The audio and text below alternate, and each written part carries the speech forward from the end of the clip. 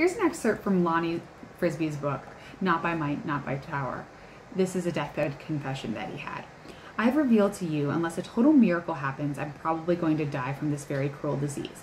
As mentioned, the shocking news caused me to go deeper into God and myself and search the depths of my soul. This ongoing process has prompted me to somewhat address the subject of a gay lifestyle. I said it was a counterfeit. Well, what does God say about homosexuality? Well, God is not negligent about condemning all categories of sin and harmful choices that we make, and there is a so called long list that He warns us against, including the so called gay lifestyle. I never lived the gay lifestyle. I would like to add that I never even considered myself a homosexual at all, even though I'd been molested for years as a child and sexually experimented.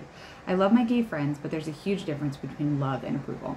So there you have it. Lonnie Frisbee wasn't gay. Make sure to subscribe for more Jesus news.